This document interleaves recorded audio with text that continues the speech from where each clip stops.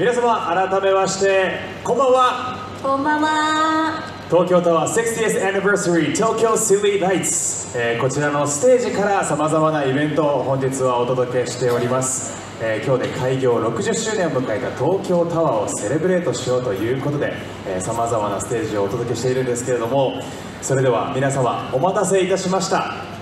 ここからは東京タワーコレクションと題しまして60年前の開業当時から現在までの制服全50着のうち復刻された13着を本日限定で実際に着用している東京タワーアテンダントの皆様をステージにお迎えしご紹介をさせていただきます。開業当時より各時代の流行や時代背景を敏感に反映しているデザインの制服に身を包んだ女性アテンダントはひときわ華やかで憧れの職業でもありました。そんな東京タワーのアイデンティティの一つでもある女性アテンダントの制服を実際に着用して一堂に会するのはここしかありません。ぜひご注目ください。はい。それでは開業当初からの制服に身を包んだアテンダントの方々をお一人ずつご紹介させていただきます。それではご登場いただきましょう。まずは1958年東京タワー開業元年の制服です。この土地に流行していたスモーキーカラーが使われてロマンチックな色彩となっています。上半身の形状はクラシカルな印象を与えるフィットフレア。襟元は白が清楚なビッグシェルダーになっています。スカート部分はふんわり愛らしいシルエットを出すフロントタッキングになっておりキュートな印象を与えます。帽子は制服とのコントラストが美しいターコイズのベレー帽で華やかで上品になっています。1958年は東京タワーが開業し初の1万円札が発行されました。またこの年に現在の皇后様となる皇太子妃がご決定しミッチーブームが起こりました。それでは続いて1968年東京タワー開業から10年の制服です。目にも鮮やかなローズレッドのカラーが華やかな印象を与えます。上半身はフューチャールックを彷彿させるアイラインスタイルのコンパクトなストレートジャケットゴールドの4つのボタンがポイントです。襟元はデコルテを美しく見せるワイドステンになっています。スカートは清楚な印象のセミロング丈。帽子はミニ G 相棒を可愛らしくおしゃれに乗せています。1968年はメキシコオリンピックが開催された年でした。そして川端康成氏がノーベル文学賞を受賞した年でもありました。それでは続いて1971年東京タワー開業から13年の制服です。白と黒のコントラストにエッジを効いたワンピーススタイル。前後にパネリングアクセントが入りスポーティでモダンなスタイルとなっています。スカート部分は動きやすさを考慮され中心部はボックスプリーツ仕様。当時人気のショート丈です。帽子はスタイリッシュなジョッキー帽。白と黒のバイカラーが斬新です。1971年は NHK 総合テレビが全番組カラー化され日本中でボーリングブームとジーンズブームが巻き起こりました。それでは続いて1973年東京タワー開業から15年の制服です。目を引くビタミンカラーオレンジと爽やかな白のコントラストが綺麗に見えます。A ラインのシルエットになっていてセンター部の白配色がスタイリッシュさを演出しています。襟元はロールカラーの白襟が上品な印象を与え太めの白ベルトでウエストマークを作っています。帽子はまぶたにかぶるチューリップハットが可愛らしさも出しています。1973年はフォークソングがブームとなりこの年に電話ファックスのサービスが開始されました。それでは続いて1978年東京タワー開業から20年の制服です。上品なグリーンカーキのワンピーススタイルで最近デザインのサファリルックになっています。胸元のパッチポケットとゴールドのボタンがアクセントになりゴールドのツイストバックルが大きな印象を与える白ベルトでウエストマークになっています。帽子は白のキャスケットで爽やかさを演出しています。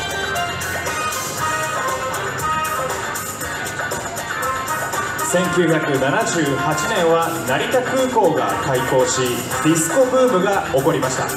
そしてこの年東京タワーにタワー大神宮が建立されました。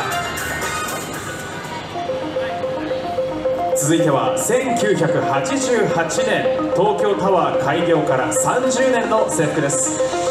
未来的なアシンメトリで斬新なデザインになりました。全体的にはアイラインのスタイルですが両脇には足さばきの良いボックスプリーツが入り快活なスタイルになっています。肩先を強調する角アクセントが入っておりミニアクセサリーのポケットチーフがアクセントになっています。高度なトライアングルバックルでスタイリッシュにウエストマークを作っています。帽子はビッグベレー帽を浅めにかぶり可愛い印象を与えます。1988年はソウルオリンピックの開催。青函トンネルの開業そして東京ドームが完成した年でありました。それでは続いて1989年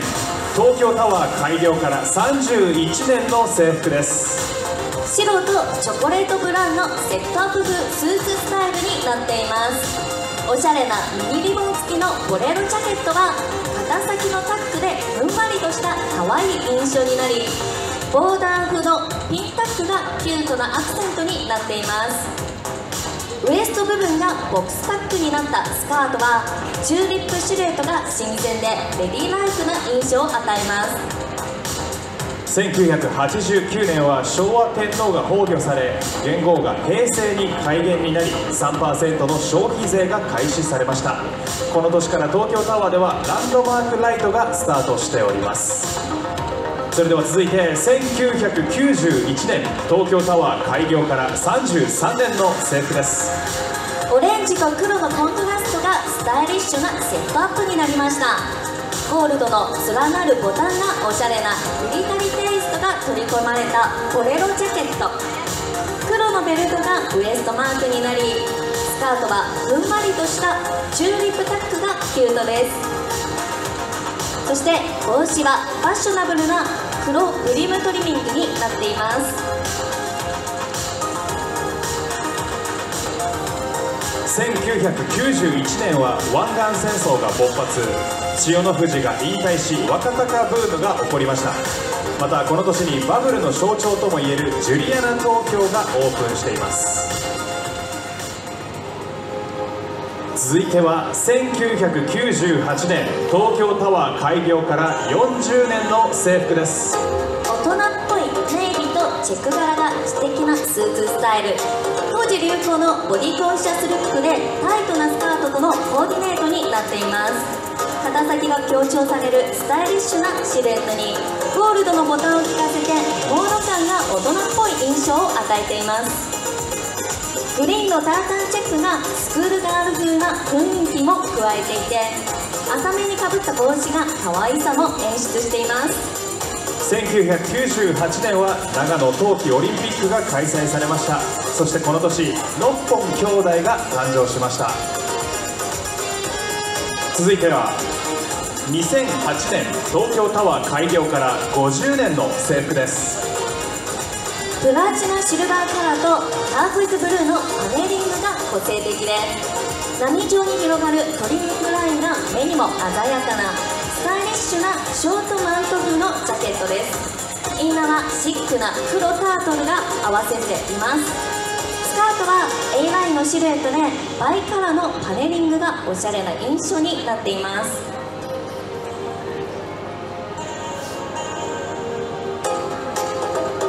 2008年は北京オリンピックが開催されました。東京タワーではこの年から新ライトアップダイヤモンドベールがスタートしました。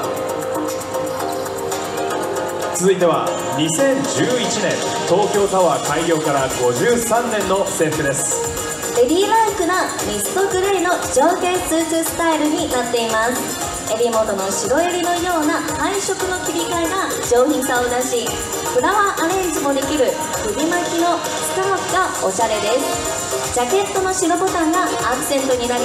華やかさも演出しています。裾にかけてのスイングするようなマーメイドフレアスカートが大人っぽい印象を与えています。2011年は東日本大震災が発生しました。そしてなでしこジャパンがワールドカップで優勝した年でもありました。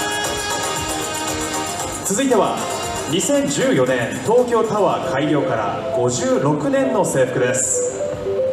知的な印象のネイビーブルーのコンパクトなショートジャケットに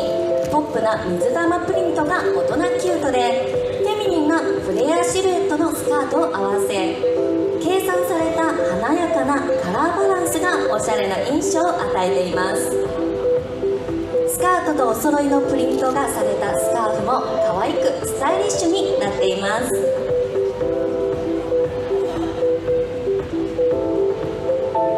2014年はソチ冬季オリンピックが開催されました。そして消費税が8%になった年でもあります。それでは最後にご紹介するのは2018年東京タワー開業から60年の制服です。2014年の制服をベースにジャケットのカラーがローズピンクになりました。華やかな印象を与えてくれます。スカートの水玉プリントの色味も合わせて女性らしさを引き立てるデザインになりました。スカートとお揃いのプリントのスカーフで可愛いコーディネートになっています。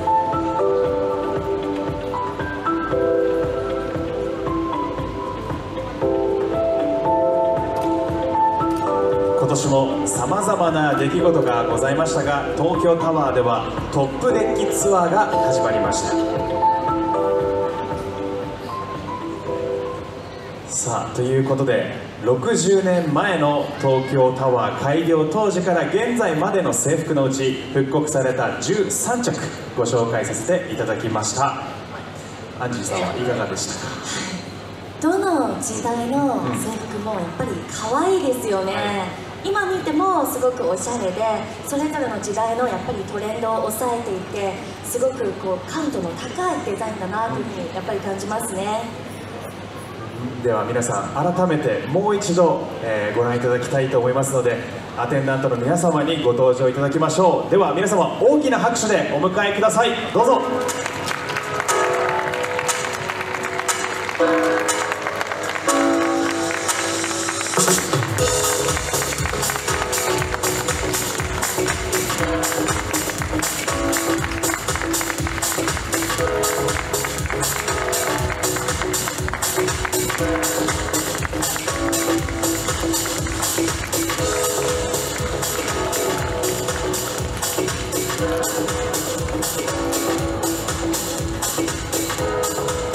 さあということで再び、えー、皆様にご登場いただきました、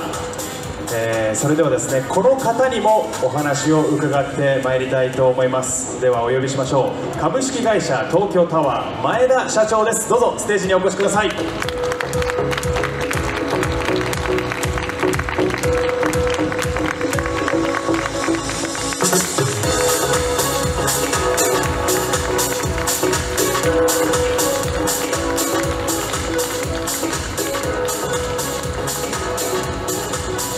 どうぞ前の方までお越しください。改めまして前田社長今日はどうぞよろしくお願いいたします。よろしくお願いいたします。よろしくお願いいたします。えー、このような歴代の制服を着たアテンダントの方々をご覧になっていかがですか、えー、東京タワーの歩んできた60年それぞれの時代を照らし出しながら反映していますね。はい。でもどれを思うのが60年前のものも今のものも変わらず新しく斬新です。どの時代もまた新しいのかもしれないですね。あの実際こうずらっと皆さんにですね登場していただくと改めていろんな色彩でこう彩られてきたんだなというのも感じるんですけれどもその辺はいかがですか？えー明るい時代のものから少しバブルがはじけた時代は少し落ち着いた色になってなんか不思議な歴史観がはい。あるように思いました、やはりそれそれぞれの時代背景がこう投影されたかのようなデザインになっているんじゃないかというところですかね。あの偶然なのか必然なのか分かりませんが、時代の空気が反映されているように思います、そして今日が東京タワー開業して60年という節目の記念日になるわけですけれども今日から会社名も変わったと伺いましたけれども。日本電波塔株式会社というのが東京タワーを開発した時からの建設前からの社名でしたがはい。今日60年の日をもって株式会社東京タワーに変更いたしました。はい、か新たなこう船出にこう出たと言ってもいいかもしれませんね。ランドマークとしてはい。国内の外の皆様方に末永く愛していただきたい。はい。街とともに東京タワーを愛されるような運営をしたいまた私たちの気持ちの宣言でもあります。そして、えー今日はですねこの60年という節目も記念してちょっとライティングが違うんですよね。東京タワーはですねこの赤っていうのが特色。少しオレンジがかったはい。赤なんですけど、今夜は特別に特別にゴージャスに輝く特別な赤をはい。お出しする準備をはい。はい実はまだライトアップされてないんですけれどもこれからなんですよね、はい。今日は東京タワーの開業記念日ということで特別なライトアップをしていただけるんですよね。はい。還暦の赤でもありますけれど、はい。東京タワー本来の赤がこれだけ光り輝くのは初めての点灯です。初めてのレッドこれだけ光り輝くのはこのやはり特別な60周年という節目だからこそということなんですね。街の皆様方にご覧いただいている御礼としてはい。特別な東京タワーレッドを今夜ご用意いたしました。えー今時刻がですね間もなく5時になるところですけどもう点灯は大丈夫ですか？はい。わかりました、えーではですね皆様えーぜひ一緒にですね今日はこの皆様の今頭上にあります東京タワーの点灯を一緒にカウントダウンしていきたいと思いますので、えーぜひですね10秒からやっていきます。そして最後21まで来たらその次は「おめでとう」と皆さんで一緒に叫んでいただきたいと思います、えーどうぞよろしくお願いいたします。では行きましょう。前田社長。じゃあ僕から数えちゃっていいですか？お願いします、はい。ではやらせていただきます。それでは皆さんいきますよ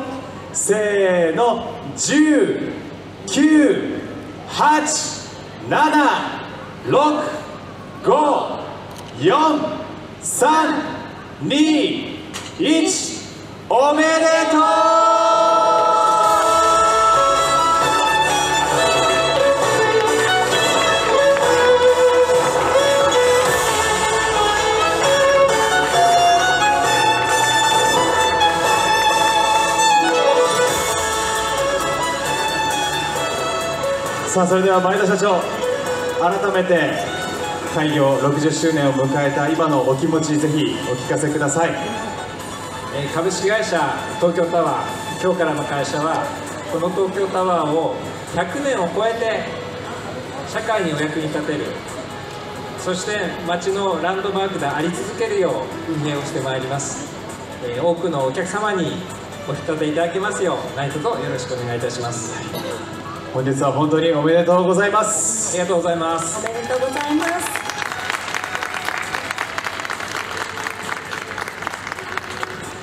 えーそしてあの今年からはですねトップデッキツアーというものもスタートしていますけれども13言語対応の事前予約を行うなどインバウンド対応もかなりされていますけれども評判はこちらいかがですか？えーグローバルに対応するということで語訳制なんですけど、はい。世界どこにいても語訳がそれぞれの言語でできます、えーそしてより多くの海外のお客様、えーご利用いただいて、えーご案内それからソフトのサービスも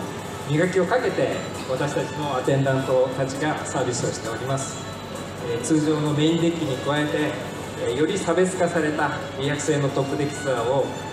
海外のお客様もまたあ国内のお客様もぜひぜひ一度お楽しみください、えーお待ちしております。この後これから東京タワーがさらにどうなっていくのかその辺は前田社長はどのように展望を見ていらっしゃいますか？えーこれはですね東京の街があまたあ東京に暮らしている皆様方がどういうふうに生活をされていくのかと同じ歩調で歩んでいくことになると思います。安心安全なタワーであるように、今年万が一の震災等でも72時間自主電源を確保してしっかりとしたインフラサービスも行ってまいります。しさらには新生東京タワーとして社会に少しでも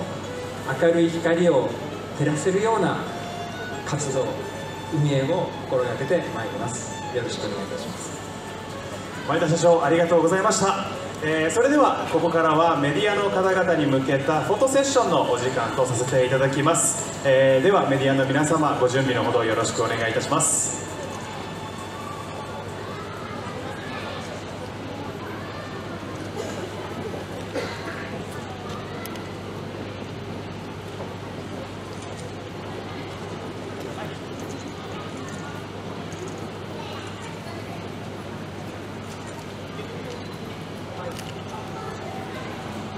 えそうしましたらそ皆様申し訳ございません少し前の方にもう皆様一歩ずつ前にお進みいただいてよろしいでしょうか。アテンダントと社長の皆様もう一歩ずつ前にお進みください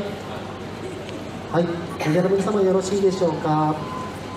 それではまずはじめにですね、えームービーの皆様に向けた撮影のお時間させていただきます。まずは真ん中中央のムービーに向かってステージ上の皆様、えー手を振っていただいてもよろしいでしょうか。でノッポンのお二人はもうちょっと両サイドに広がっていただいてもいいですか？出るかな？はいありがとうございます。ではすいませんそのまましばらく正面のカメラに向かって手を振っていただいてよろしいでしょうか？えープレスの方よろしければ OK をいただければ次移らせていただきます。はい、よろしいでしょうか。続きましてそうしましたらステージの皆様から見て左手のムービーのカメラに向かって手を振っていただいてもよろしいでしょうか。はいその笑顔でお願いいたします。はい、よろしいでしょうか。続きましてステージ上の皆様から見ていただきまして右側の方のムービーのカメラにえ手を振っていただいてもよろしいでしょうか。はい、えー、どなたか、えーと、カメラの方手を挙げていただいてもよろしいでしょうか。はい、ありがとうございます。今、手が上がっているところに向かって、えー目線をお願いいたします。